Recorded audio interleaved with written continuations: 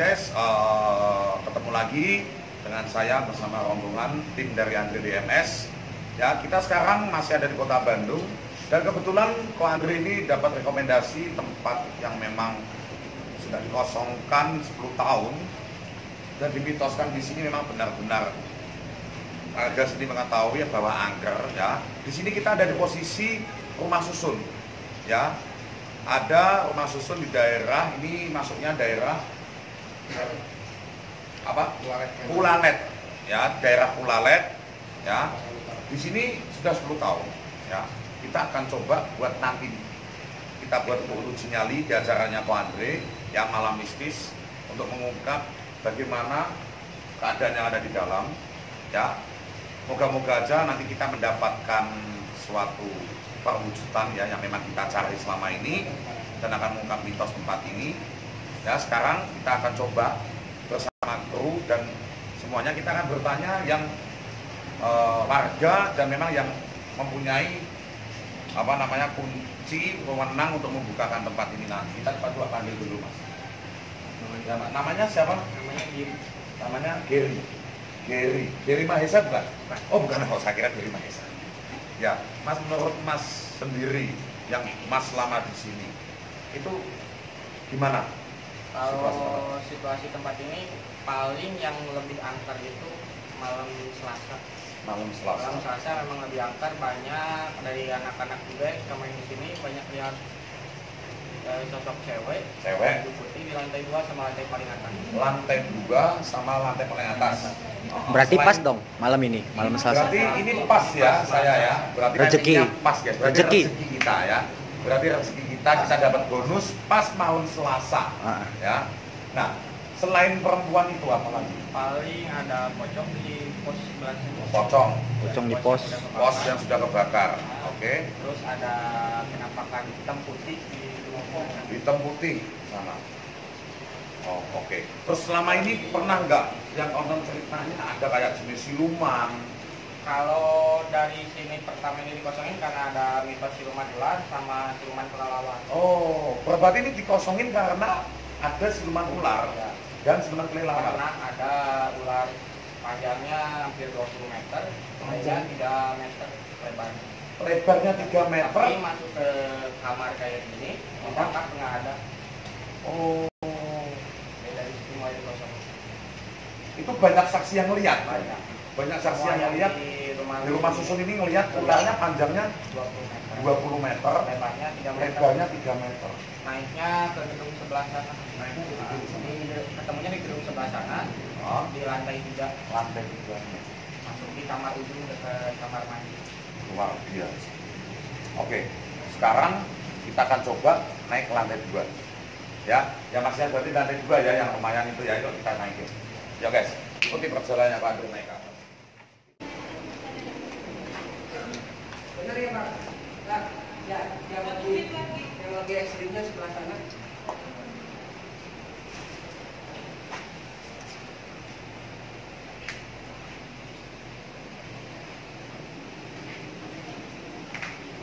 Itu RW 14.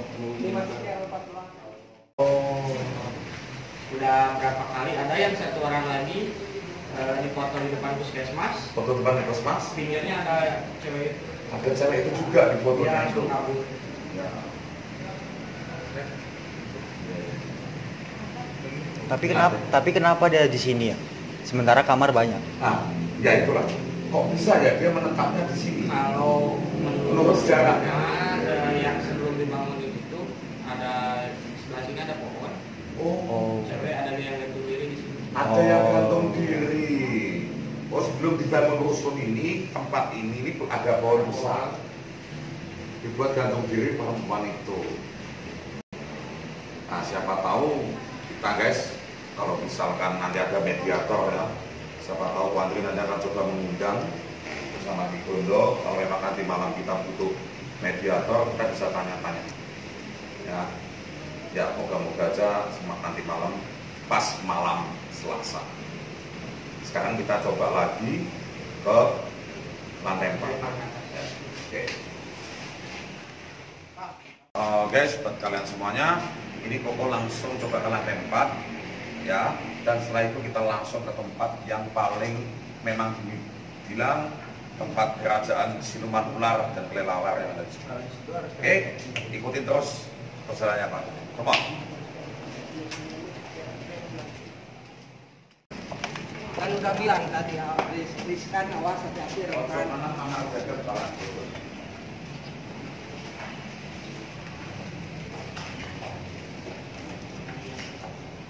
Oh yang ini ya. Oh. Bro, besok si Serian mah di dianya. Nah, di lantai dua ada saya baru dak iya di dia pas baru dak ada dia nya biasa we baru dak jelas saya mah di dia Oke guys, Eh, buat kalian semuanya, ini Padre udah di lantai 4 Eh, dari akangnya sendiri sini ngomong ya, di sini yang bagian pocong biasanya eksistensi. Ya, ini di kamar mandi.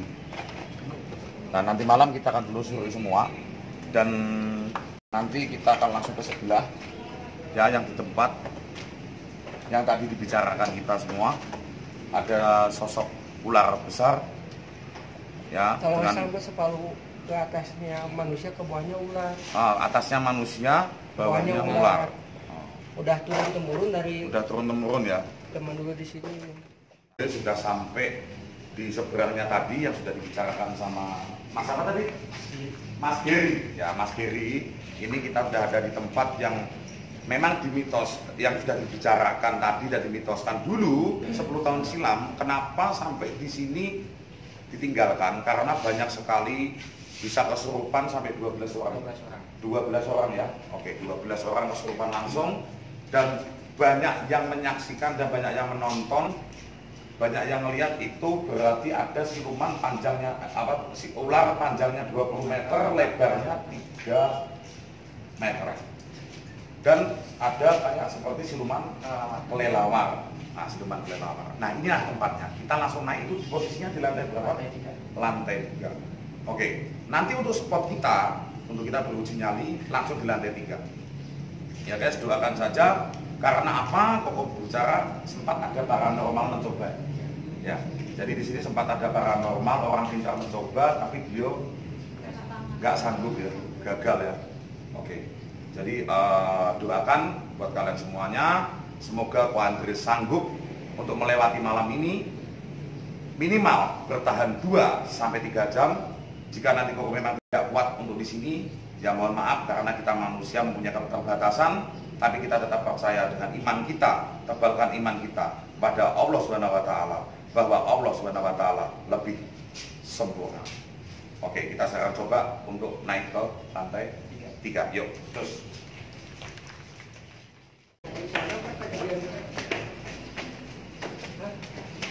Jam berapa kontak malam? Jam 6 pagi Ya, ya, saat betul, ya. nenek-nenek ke pasar sama janda-janda muda ke pasar. Nanti kau sinyali dalam daftarnya nenek-nenek itu. Kenapa?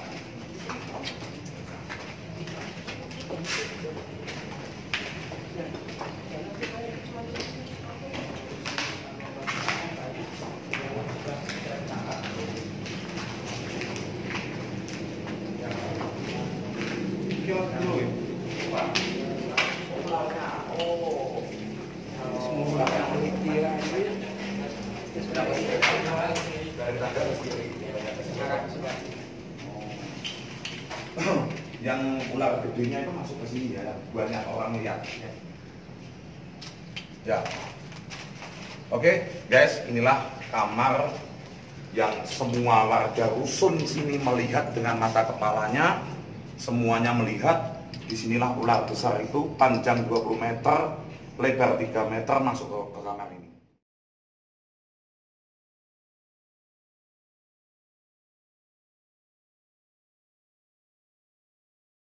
Oke, kita sekarang melihat lagi yang buat kelelawarnya ya. Yang siluman kelelawarnya di lantai paling atas. Di lantai paling atas. Oke. ada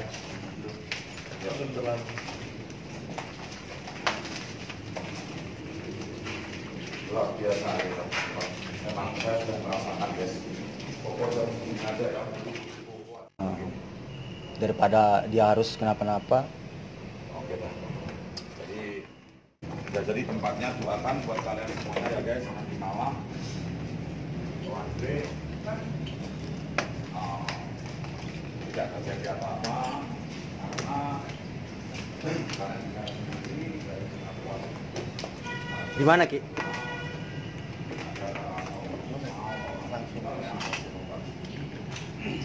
Langsung ke sini Jadi satu ini.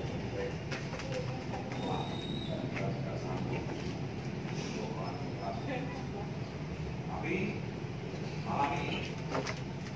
malam ini MS coba setelah waktu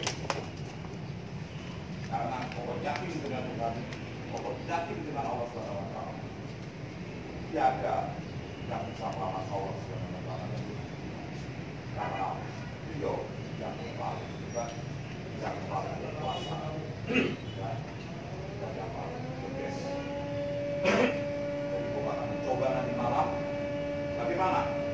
Eksperimen nanti malam Wandur di sini dan ada warga sekitar Bandung yang mau menyaksikan Wandur Sejati langsung, silakan datang, silakan saksikan bagaimana Wandur ya akan melawan apa yang Karena main sini aja. sini langsung nggak perlu explore Ya explore nanti tetap explore. Tapi stand Spotnya di sini? Spotnya di sini. Nah, jadi ini sejarahnya bagaimana yang dirasakan pandang dari Gondo sendiri. Kita mencoba tapi aku aku ngelihat Ki Gondo kayaknya agak beda dari lokasi-lokasi sebelumnya Wajahnya ragu loh, aku jujur ya kan? aku jujur ngelihat emang wajahnya Ki Gondo ragu gitu. memang mungkin lama ya dia itu mungkin sosok mungkin sebut sini ya mungkin ya. Dia tuh kayak kayak jin ya. Dia tuh menjelma mungkin sampai saya tadi melihat ya Prabu sampai agak kayak ketarik saya. Bentuknya lihat ya kayak iya. tarik sosok yang di sini mungkin kalau saya untuk perawan saya yang memang ular itu. Ular. Ular. yang kuat yang kuat. Yang kuat itu malah yang ular itu. ya. yang kuat ular. Yang sering memunculkan eksistensi yang Yang memunculkan eksistensinya ular. mengganggu itu. Ular Ganggu itu ular. Nanti kita mencoba, Tuan Andri bisa mencoba di malam nanti ya. Ya, malam nanti coba. Semoga bisa. Belum apa-apa keringetan guys. Ya pokoknya Kuandre sekuatnya Kuandre nanti malam jika Kuandre memang tidak kuat untuk melanjutkan uji nyali berarti memang waktunya istirahat. Tapi doakan saja tidak terjadi apa-apa nanti malam karena tempatnya kalian dengar sendiri dan kalian bisa lihat sendiri ya. Ini tempat nggak main-main. Ini tempat tidak bisa buat sembarangan ya. Jadi nanti malam pukul setengah 12 sudah mulai stay ya. Pokoknya Berarti- pulang prepare dulu. stay kamera di sini ngarah ke sono. Nanti aku akan explore dulu karena tempat segini gede ya kan? Iya. aku tetap jalan dulu untuk stay uji nyalinya tetap di sini jangan kau ganggu kalau malah Jalannya dikondisikan dulu sama. Stay tune di channel YouTube Pandri Andri BMS Official. Jangan lupa like dan subscribe. Tekan tanda loncengnya biar kalian tahu laporan-laporan YouTube for update video Pandri yang terbaru.